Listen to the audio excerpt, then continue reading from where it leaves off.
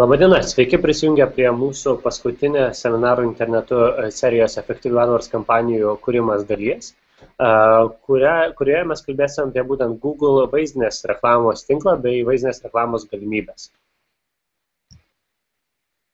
Šios sesijos metu norėtume visų pirma apžvelgti būtent e, tai, kas yra Google vaizdinės reklamos tinklas ir kokie partneriai tame tinkle yra.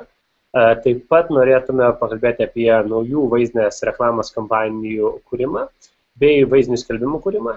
Taip pat tolesnėse serijos, būtent sesijos šios dalise, mes norėtume būtent pakalbėti apie vaizdinės reklamos taikymo įvairias galimybės, vaizdinės reklamos planavimo priemonę bei palikti vietos jūsų klausimams bei atsakymams.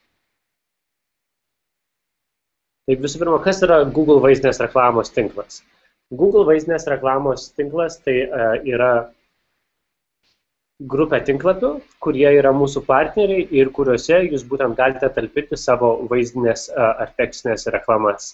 Uh, tai tarp Google partnerių pavyzdžių mes visų pirma galėtume paminėti skirtingus Google produktus. Tai visų pirma yra Google Maps, Gmail platforma ar YouTube platforma.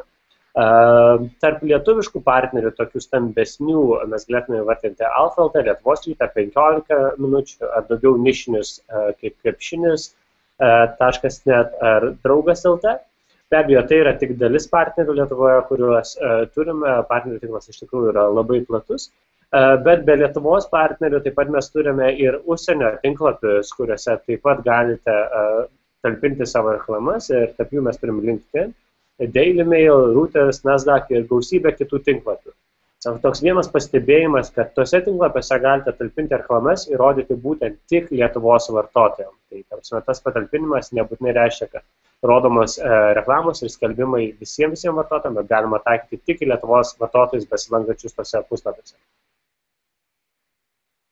Kodėl e, būtent vaizdinės reklamos tinklas yra labai gera e, galimybė e, AdWords naudotojams? Tai visų pirma, Per vaizdinės reklamos tinklą jūs galite pasiekti savo klientus įvairiais formatais. Vaizdinės reklamos tinklas palaiko tekstinius formatus, taip pat vaizdinės reklamas bei interaktyves reklamas ar video skelbimus.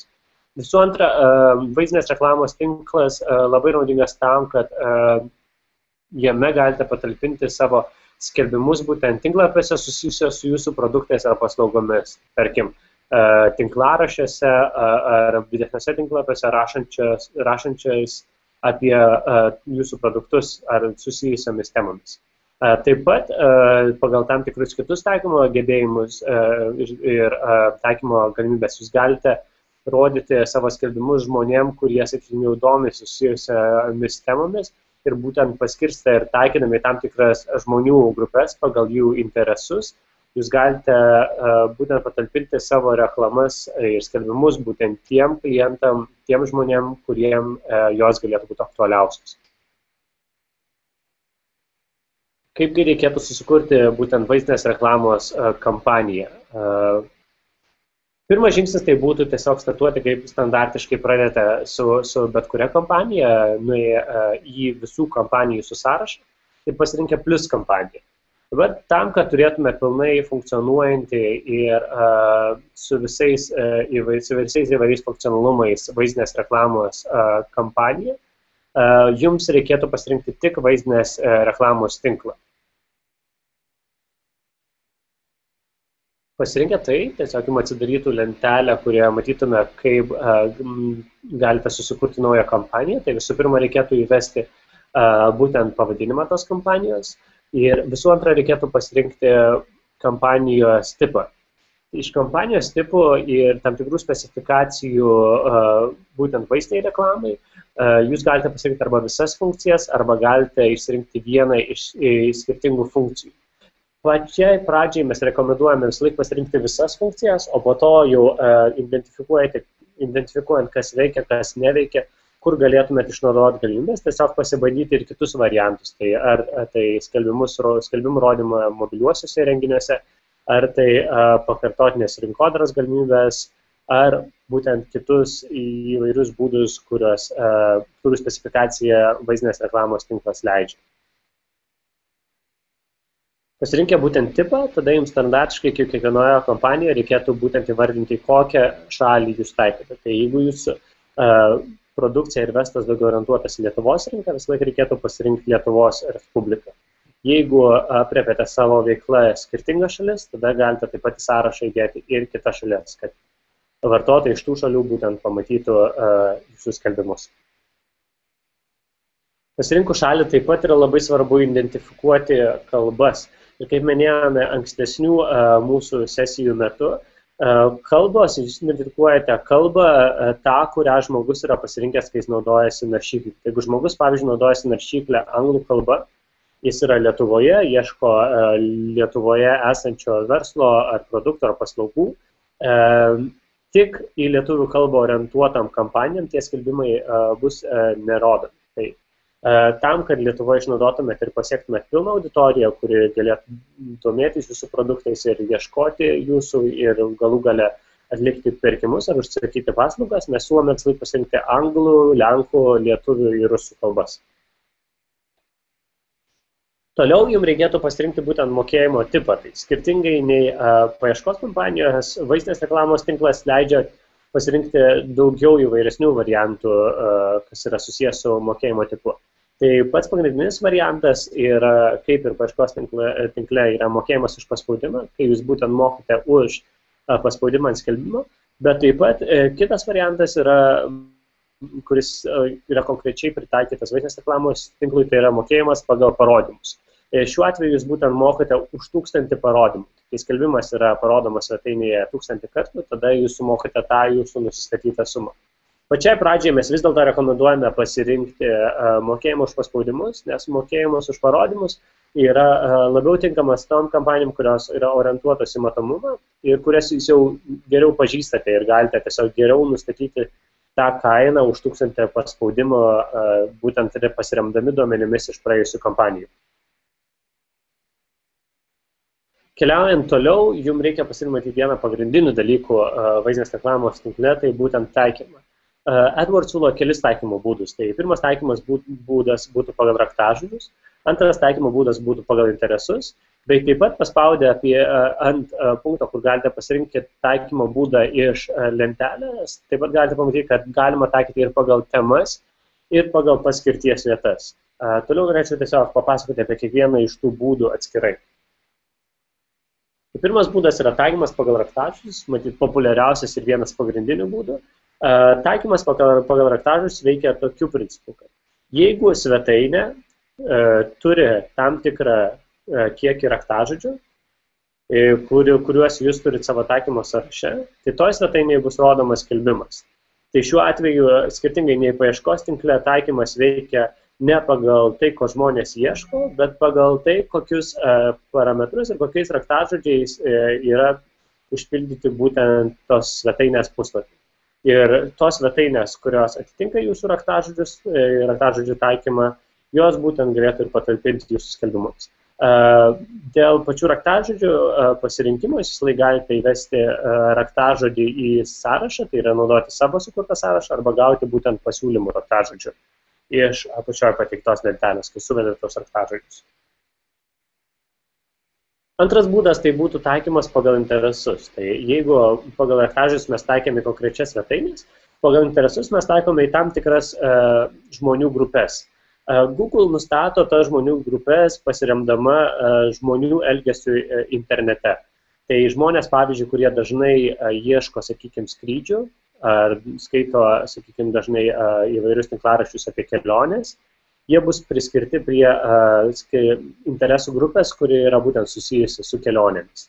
Ir būtent šito taikymo pagalbos galite tiesiog įsigrinyti tam tikrą grupę žmonių, kurie jums yra aktuali ir rodyti reklamas, skelbimus jiems, nepriklausomai nuo to, kuriame puslapyje besilankytų. Trečias būdas tai yra taikymas pagal temas. Taikymas pagal temas yra iš esmės gan panašus e, į taikymą pagal raktažodžius, bet jis tiesiog duoda žymiai platesnį auditorijos kiekį. Tai uh, taikydami pagal temas, jūs realiai taikote į puslapius, kurie patys yra identifikavę kaip uh, tam tikros tematikos puslapį. Tai jeigu jūs taikote į kelionių puslapį, tai tas puslapis turi būti toksai, kuris pats identifikuoja, kad jisai, jo turinys yra apie keliones. Būtent taikydami pagal temas, kaip ir su kiekvienu taikymo metodu, jūs galite pasirinkę temą, pamatyti, kokia yra apreptis. Ir būtent toj lenteliai, kuri yra dešiniai pusėje jūsų pasirinkimų. Ir pagal tai įsirinkti tam tikras temas, kurios jums yra aktualius, pamatyti, kokią auditoriją, taikydami tas temas, jūs maksimaliai galite pasiekti. Paskutinis būdas, kuris taip pat yra gan dažnai taikomas, tai yra būtent taikymas pagal paskirties vietas. Taikydami pagal paskirties vietas, jūs tiesiog taikote į puslapius, kuriuos jau patys esate atsirinkę. Tai yra sąrašą puslapių, kuriuose jūs, kuriuose jūs norite. Šis būdas iš tikrųjų yra, reikalauja tiesiog gan jau gerų žinių apie tai, kaip kompanijos veikia ir gan geros, gero identifikavimo, kuriuose jūs puslapiuose norite būti ir tokio labai specifinio, sakykime, išsigrindimo tam, kad užpildyti būtent tą puslapių sąrašą, jūs galite tiesiog įvesti toje lentelėje puslapio adresą, kuriame norite būti, bei taip pat gauti pasiūlymus panašių puslapių ar panašios aprepties puslapių, kuriuose galėtume taip pat, kad juos galėtume atitraukti į savo sąrašą ir konkuruoti dėl skelbimų patalpinimo juose. Tai tiek būtų apie kompanijos būtent susikūrimą. Indra dabar daugiau papasakos jums apie kaip reikėtų uh, susikurti pačius e, skelbimus ir kokias priemonės bei pagalbą mes turime skelbimų kūrimui. Ačiū man tai. Trumpai apžvelgsiu skelbimus vaizdinės reklamos tinkle. Kaip turbūt ir žinote, jų būna trijų rūšių. Tai tekstiniai skelbimai, vaizdiniai skelbimai bei raiškiosios medijos skelbimai. Trumpai apie kiekvieną iš jų. Tekstiniai skelbimai yra tokie, kurie yra tiesiog analogiški būtent skelbimams paieškos tinkle. Um, Labai svarbu turėti jų tarp savo vaizdinės reklamos kampanijų, nes būtent kai kurie tinklapiai turi specialias pozicijas, kurios yra skirtos būtent tekstiniams skelbimams. Tai tikrai nepaleiskite galimybės ir būtinai susikurkite savo kampanijose ir tekstinius skelbimus. Kurdami skelbimus matysite panašų um, langelių išdėstymą. Uh, iš tikrųjų, iš to, jeigu turite jau sukūrę tekstinių skelbimų, juos galite tiesiog uh, nukopijuoti ir naudoti būtent vaizdinės reklamos tinkle iš paieškos kompanijų taip pat. Kalbant apie vaizdinius skelbimus, e, jeigu turite jų jau susikūrę, e, tuomet juos galite įkelti tiesiog savo paskyroje ir būtent supažindinti savo vartotojus ir plačiau jiems papasakoti apie savo prekes, paslaugas, išnaudodami vizualų vaizdinių skelbimų aspektą. Jeigu neturite susikūrę skelbimų, juos galite susikurti su nemokamu įrankiu, apie kurį papasakosiu dabar. Jis yra vadinamas vaizdinių skelbimų kūrimo priemonė ir su juo galite skelbimus kurti nemokamai, be jokių papildomų mokesčių. Viena rekomendacija būtų iš tikrųjų išnaudoti šį įrankį ir susikurti atskirus skelbimus būtent atskiroms produktų grupėms, atskiroms paslaugų grupėms ir vizualiai komunikuoti apie savo paskaitas. Būtina iš tikrųjų pridėti skatinamąjį mygtuką, kuris galėtų tiesiog jums sugeneruoti daugiau e, vartotojų dėmesio. E, pastebėjome, kad iš tikrųjų, jeigu naudojate veiksmą skatinantį mygtuką, kuris, tarkim, turėtų žinutę, išbandykite, užsisakykite, e, sužinokite daugiau. Tokie žodžiai iš tikrųjų skatina vartotojų dėmesį, dėl to jie bus labiau linkę spausti ant jūsų skelbimo. Taip pat verta žinoti, kad su šiuo įrankiu galite bet kuriuo metu prisijungti prie savo paskyros ir tiesiog nemokamai redaguoti skelbimus, eksperimentuoti su, su spalvomis, su skirtingomis paletėmis, um, su vaizdais, kuriuos norite naudoti savo skelbimuose. Uh, taip pat ir su žinutėmis. Jeigu pastebite, kad vieni žodžiai galbūt veikia geriau negu kiti, tuomet rekomenduojame optimizuoti savo paskyras ir nuolatos gerinti uh, būtent skelbimų tekstus ir tiek vizualų jų, jų atrodymą. Um, taip pat nepamirškite kad e, naudinga iš tikrųjų turėti įvairių skelbimų formatų nes būtent skirtingi tinklapiai siūlo skirtingas pozicijas atsižvelgdami į įvairias e, būtent e, įvairius skelbimų formatus. Dėl to, kuo turėsite jų daugiau, tuo turėsite daugiau galimybių būtent pakliūti į tos partnerių puslapius. Tad iš tikrųjų naudodamėsi šiuo įrankiu galite pasirinkti jau egzistuojantį šabloną ar tiesiog susikurti tokį skelbimą, kurį norite matyti. Um, panašiai taip atrodys langas, kai pradėsite kurti skelbimą, būtent su vaizdinės, uh, vaizdinių skelbimų kūrimo priemonė. Dabar trumpai apžvelgsiu vaizdinės reklamos planavimo priemonę, kuri taip pat yra naudinga planuojant jūsų vaizdinės reklamos kampanijas. Būtent su ją galėsite prognozuoti, kiek panašiai jums galėtų kainuoti jūsų kampaniją, be to galėtumėte pamatyti, kiek potencialiai vartotojų galėtumėte pasiekti su savo kampanija. Būtent mokesčių statistika jums parodys, kurios idėjos tilptų jūsų biudžeto ribas. Taip pat galėsite peržiūrėti potencialios auditorijos profilį, būtent kiek galėtumėte pasiekti uh, lankytojų bei kokia būtų jų lytis ir pasiskirstimas amžiaus grupėse. Penki svarbus e, elementai, kuriuos matysite uh, naudodamėsi vaizdinės reklamos planavimo priemonę, būtų šie. Visų pirma, tai yra slapukai per savaitę. Slapukai yra angliškai vadinami cookies ir jie yra renkami, kai vartotojas apsilanko jūsų svetainėje, e, jeigu esate būtent nustatęs šią funkciją.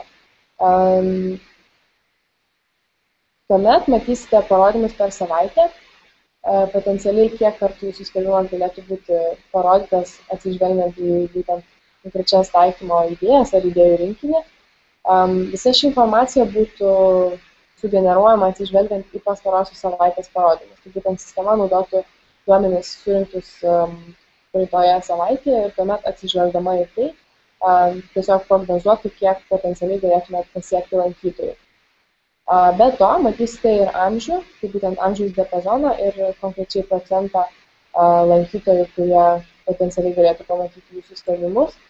Uh, taip pat matysite ir jų lytį, bei matysite ir informaciją apie istorinį mokestį už paspaudimą.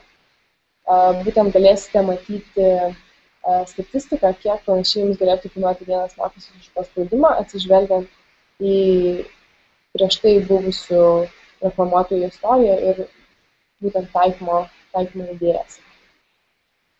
Šią priemonę galite rasti savo paskyroje, žalioje juostoje paspaudę įrankį ir analizę ir tuomet paspaudę vaizdinės reklamos planavimo įrankius.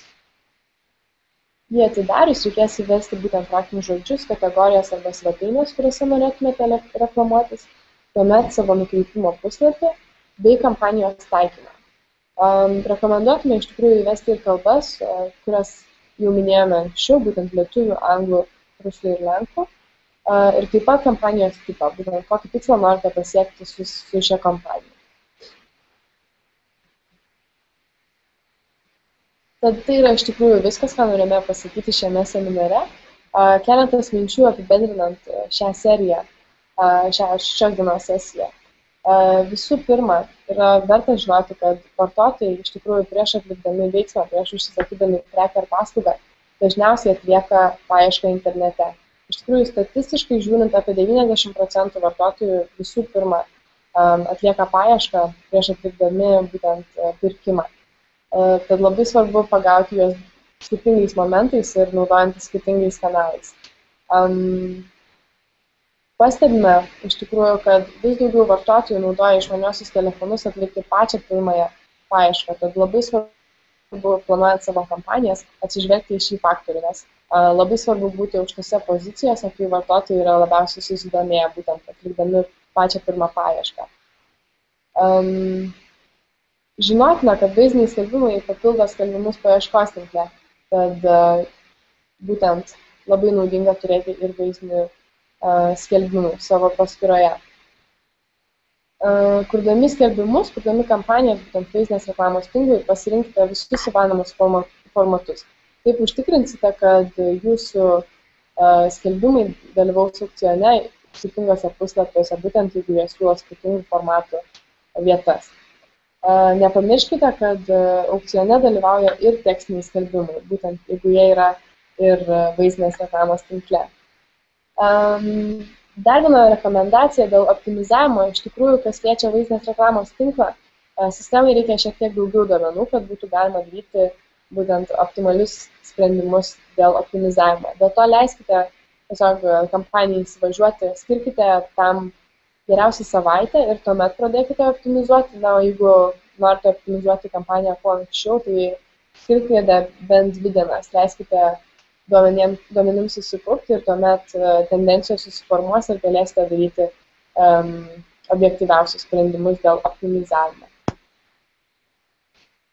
Gal tiesiog pabaigiant e, mūsų šitų seminarų sesiją, mes tiesiog norėtume priminti, kad e, Google taip pat turi gausų partnerių Lietuvoje tinklą. Tai yra agentūros, kurios e, yra sertifikuotos profesionaliai dirbti būtent su Google produktais, e, AdWords e, būtent plotmėje. Ir jeigu jums reikėtų profesionalios pagalbos, ar tiesiog matytumėt, kad AdWords administravimas ir plėtimas užtrunka per daug laiko, tai tikrai siūlome kreiptis į jas, e, pasirinkti jums labiausiai tinkamą ir išnaudoti tas galimybės, e, gaunant, sakykime, profesionaliausią pagalbą, kurią galima gauti Lietuvoje. E, pačiam galui tiesiog norėjome dar įdėti ir uh, nuorodas, nuorodas į kelis aspektus. Tai visų pirma, mes turime nuorodas į pirmąją ir antrąją mūsų seminaro dalis.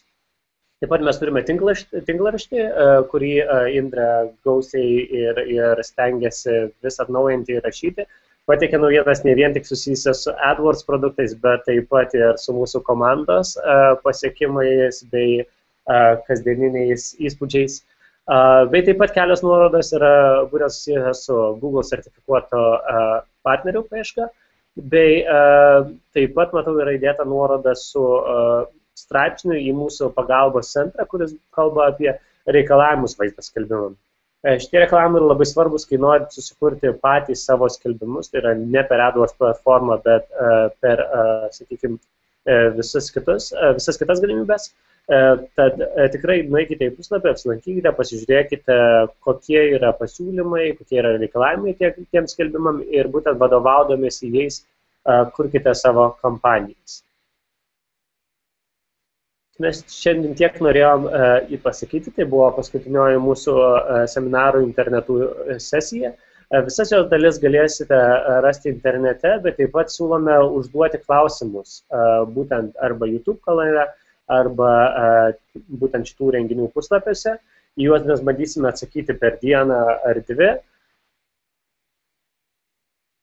Bei taip pat mes siūlome jums uh, tikrai nespravėti ir paskambinti mum, jeigu kyla net ir menkiausi klausimai uh, šiuo numeriu.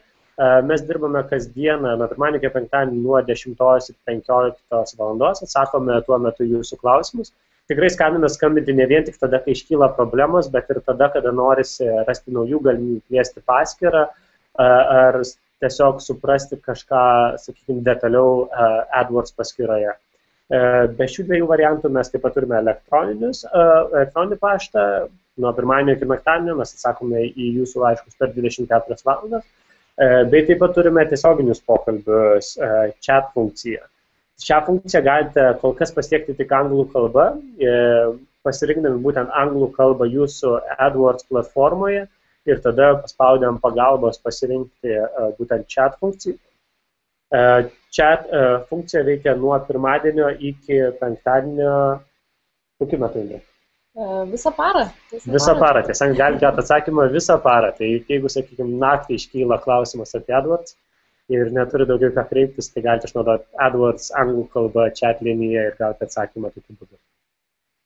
Norėtume padėkoti visiems prisijungusiems, visiems dalyvavusiems mūsų seminarų serijoje.